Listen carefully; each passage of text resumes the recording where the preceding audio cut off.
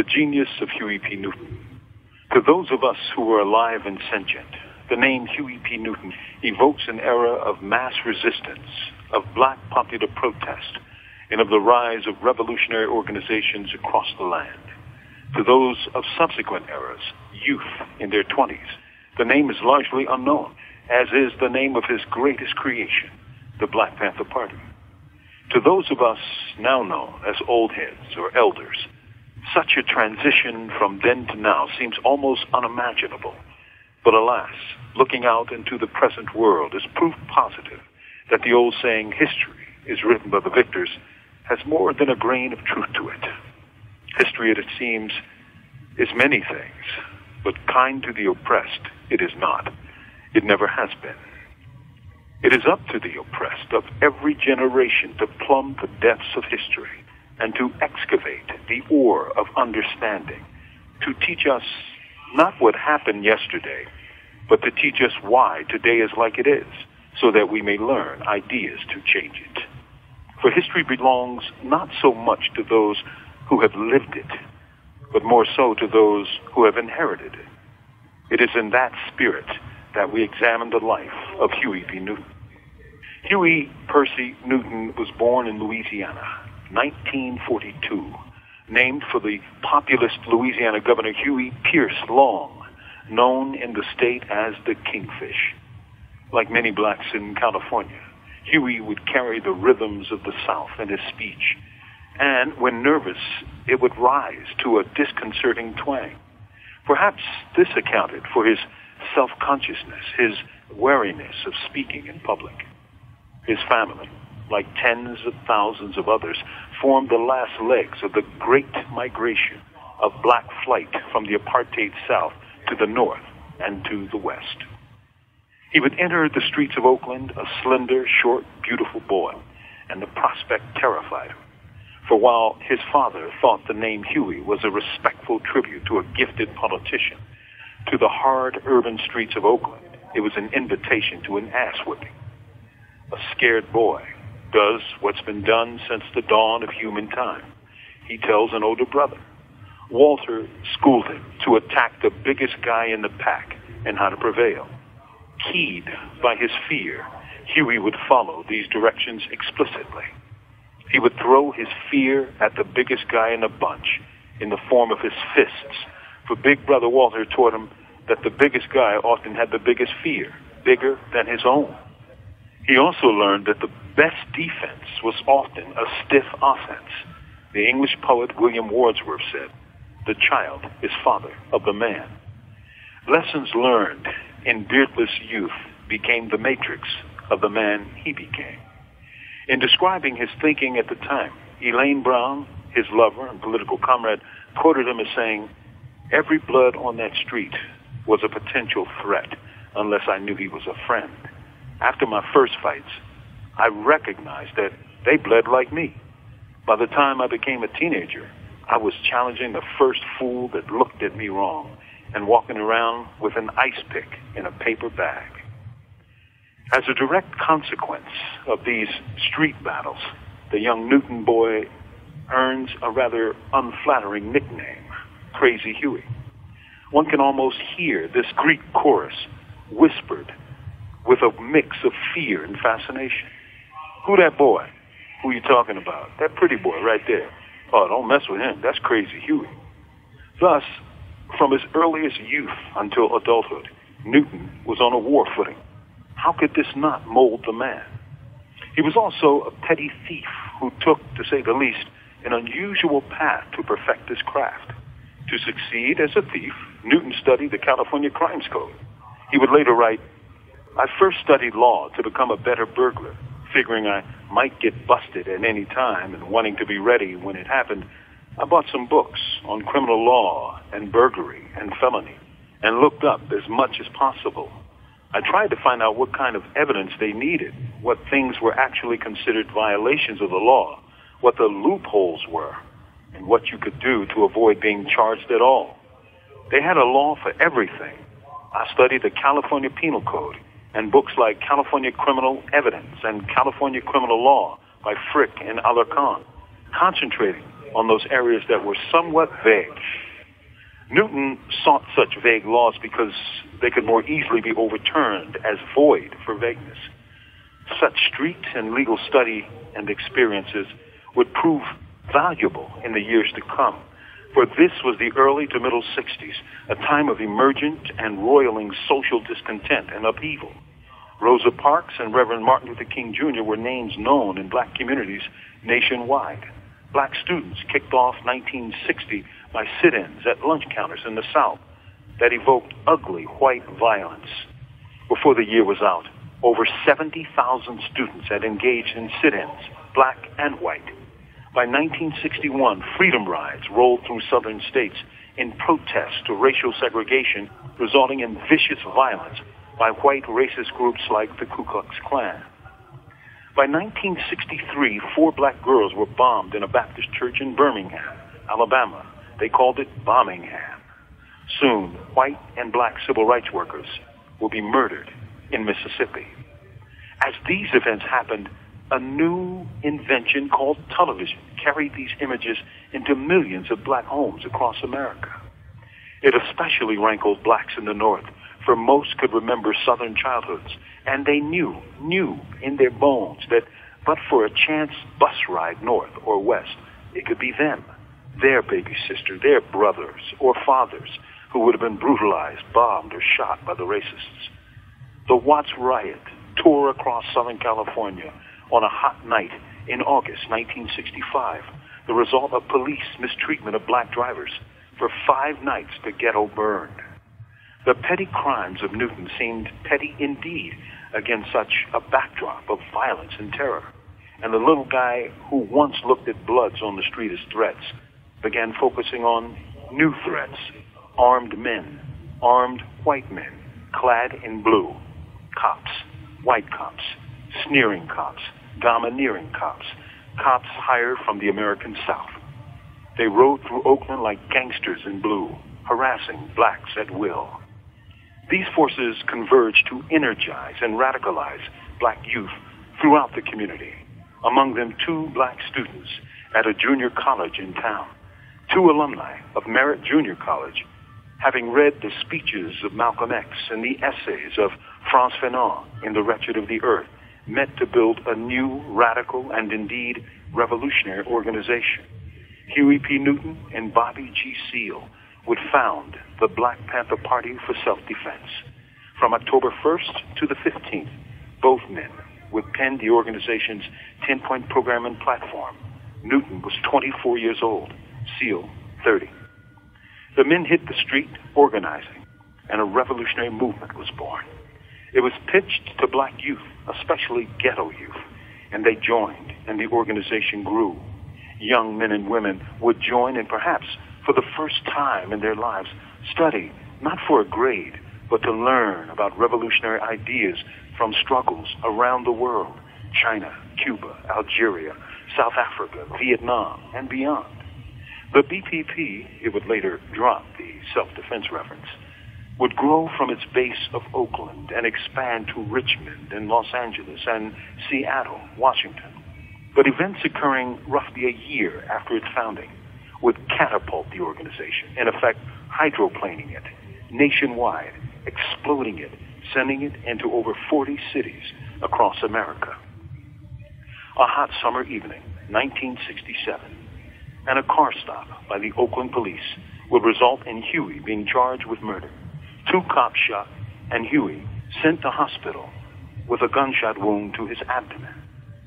It gave birth to the Free Huey movement, and by so doing, changed the party's trajectory from a small regional group to a national one.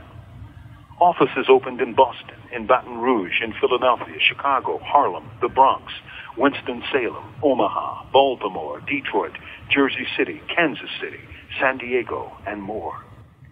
Where there were black communities, there were black militants, most moved by the masterful oratory and martyrdom of Malcolm X.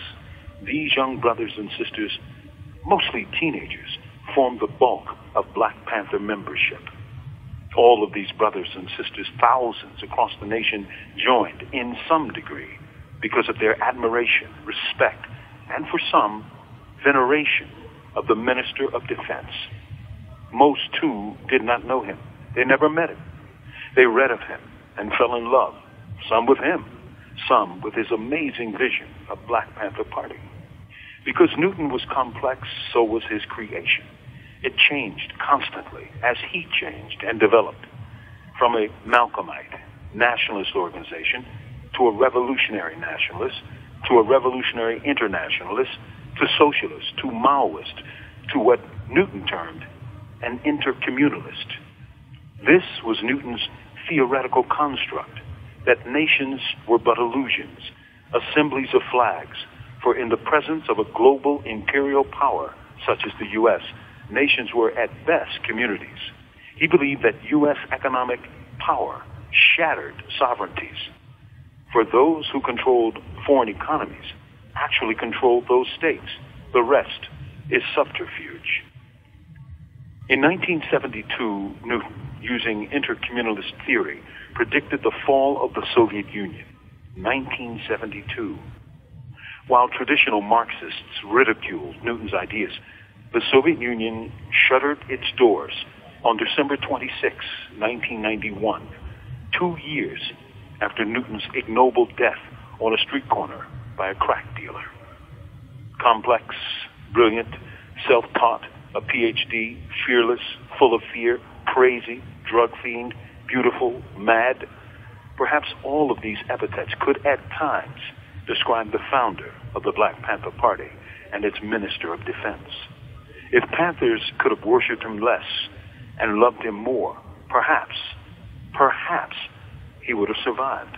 Perhaps the party would have survived. Perhaps a memory, if you will. The place? Death Row, Pennsylvania, circa 1996. Your speaker is in discussion with acclaimed women's writer Alice Walker. We're lamenting the passing of Huey. He should have been at a black college teaching a new generation of activists, I say. Are you kidding me? She asks. What do you mean?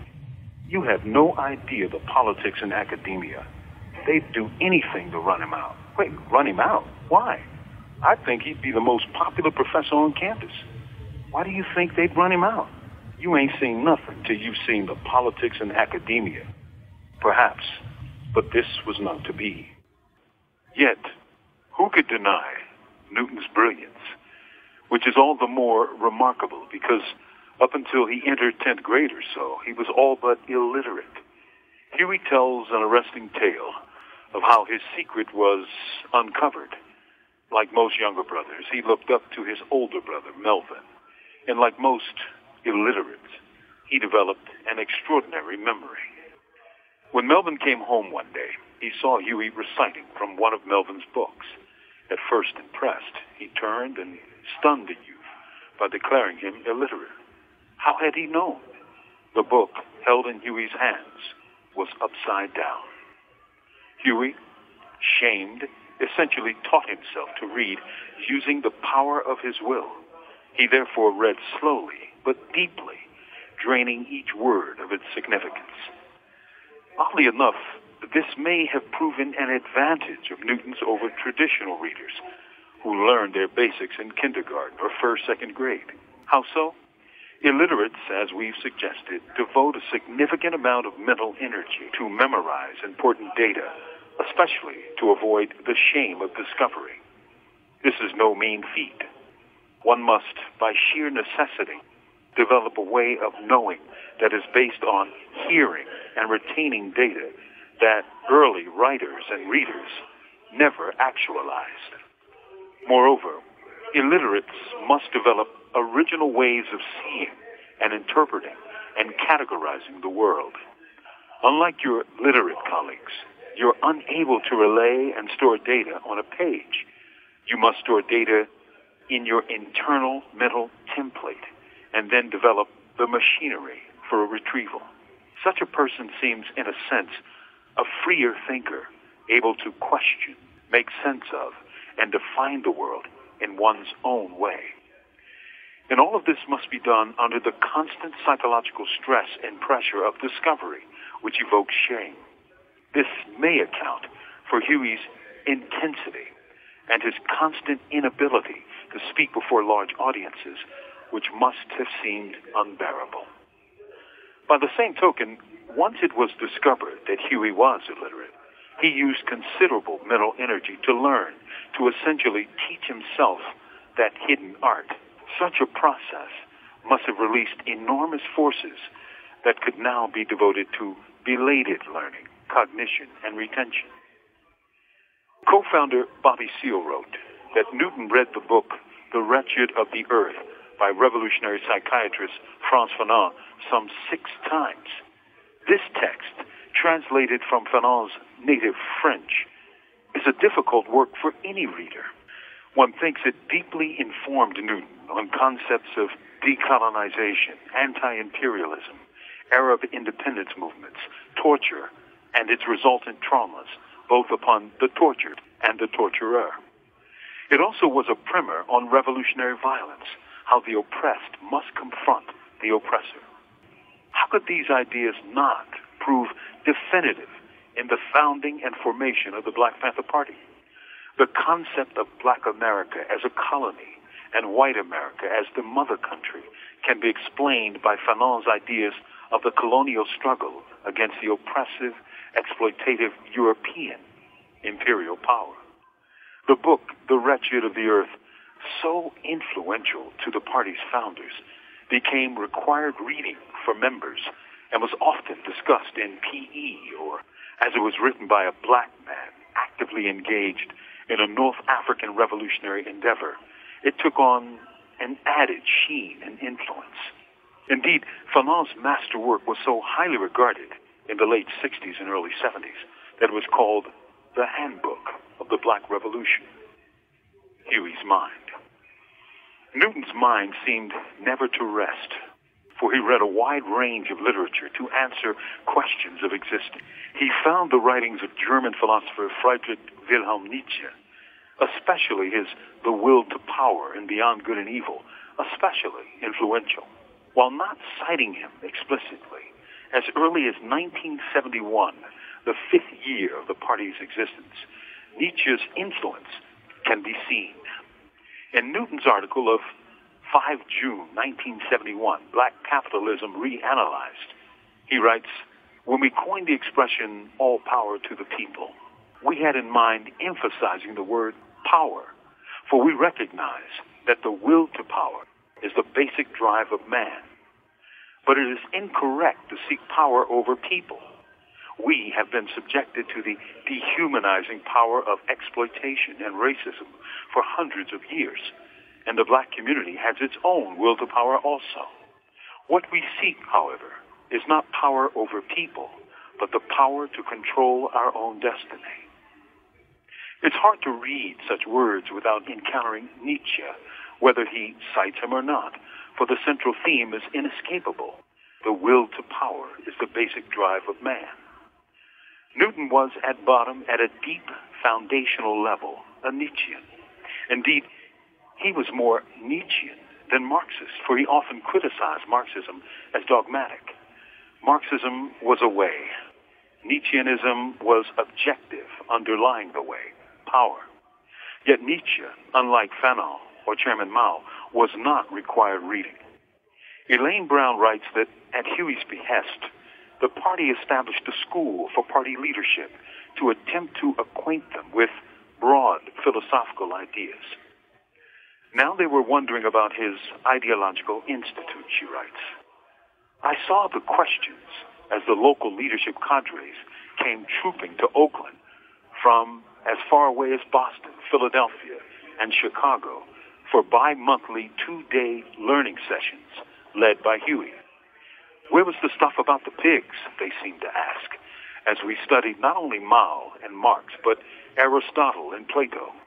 Where was the stuff about urban guerrilla warfare, their expressions conveyed, as Huey led us in discussions of the philosophies of Rousseau and Kant, Kierkegaard and Nietzsche, about existentialism and determinism and free will. I saw their faces when we examined and questioned the theories of capitalism and socialism and communism. Huey asking whether our systematic use of the tests of dialectical materialism meant anything, If, under a dialectical materialist analysis, nothing stood outside of the process, did that negate the process itself? He asked. Huey P. Newton was, by necessity, a man of action, but he was also a man of ideas. He was so as an illiterate. He became more so when he began to read and added exponentially to his storehouse of ideas. As a dialectical materialist, he knew that everything was in a state of flux, that change was the only constant. As a Nietzschean, he knew that only power could influence that change and direct it along its desired course. One needed the will to power. Huey had no shortage of that quality. When he went to prison, he knew every Panther in California, for he or Bobby had recruited him or her. When he was freed on appeal in 1970, he emerged to a group that he neither knew nor built. There were Panthers in Boston, Harlem, Philadelphia, Detroit. He didn't know these people, even if all of them were inspired by him. If you didn't know someone, how could you trust them? To add insult to injury, the FBI's COINTELPRO program had bogus letters sent to him, ostensibly from other Panthers, criticizing his rule, criticizing other Panthers, and even threatening him. Who were these people, he must have wondered. So, using that mighty will, he shrunk the party, probably intending to rebuild it in his own Nietzschean image. That was not to be. He tried with all his might to change history. But history is a cruel mistress. She loves, she caresses, and she moves on, creating new days, new possibilities, new realities. Dr. Huey P. Newton dared to struggle and inspired millions to also fight against a twisted, broken, racist system.